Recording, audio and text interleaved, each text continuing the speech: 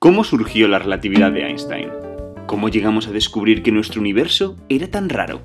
Lo cierto es que la mecánica cuántica y la relatividad especial comparten el mismo elemento en su origen. Sí, estoy hablando de la luz. Porque la luz oculta muchos secretos.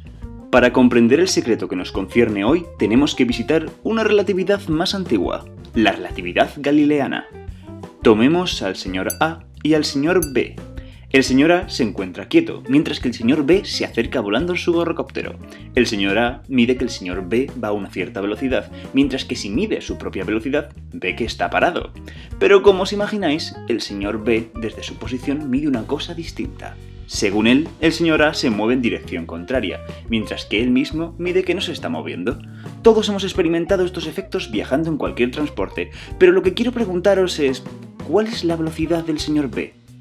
Aquí está el problema, cada uno mide una velocidad distinta. Entonces, ¿quién tiene razón? ¿El señor A porque está parado? Lo cierto es que no puedes asegurar eso, porque si eliminas todo el escenario, el paisaje, el gorrocóptero, ninguno de nuestros dos observadores puede diferenciar de ningún modo si son ellos los que se mueven o es el otro el que se está moviendo. De esto habla el principio de relatividad galileana.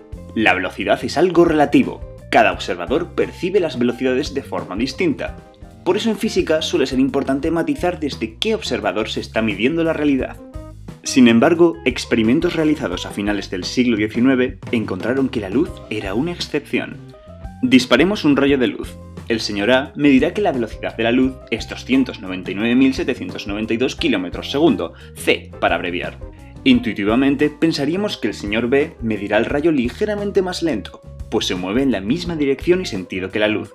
A mayor velocidad del señor B, menor velocidad percibe del rayo. Pero lo que ocurre en la realidad es muy distinto.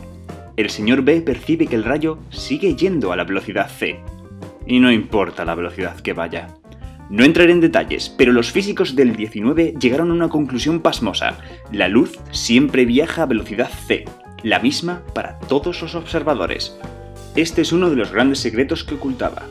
Todo el mundo mide los rayos de luz en el vacío a la misma velocidad. Todos, en cualquier circunstancia. La velocidad de la luz es absoluta, es una constante universal. ¿Cómo demonios puede ocurrir esto?